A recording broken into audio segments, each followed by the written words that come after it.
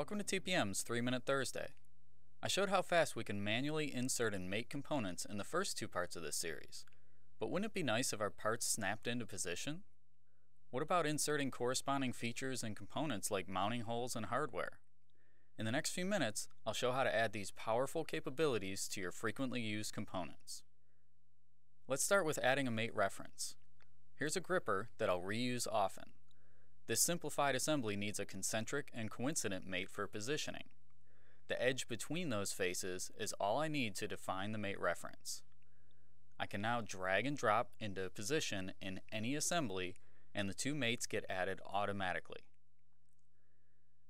In situations where frequent repositioning is needed, like facility layouts, magnetic mates are the answer.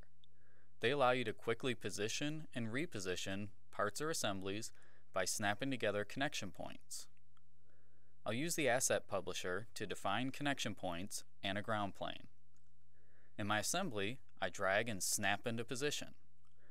I drag again to unsnap and snap again for repositioning.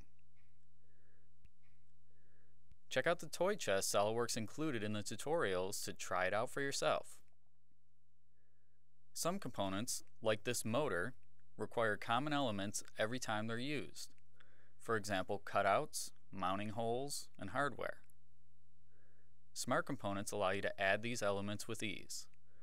They can include features, parts, or both. With my motor in position and the features and parts already designed, I'll set up the Smart component by editing the part in context. I'll use the Make Smart Component command and select the hole wizard holes and screws that I want to include. Now, I'll save the part and test it out. In my real assembly, I'll insert and position the part, I'll click the Smart component, then select what I want to insert. Depending on what you're adding, you may need to select a few references, and that's it. All the features and hardware I need for my motor inserted with a single command.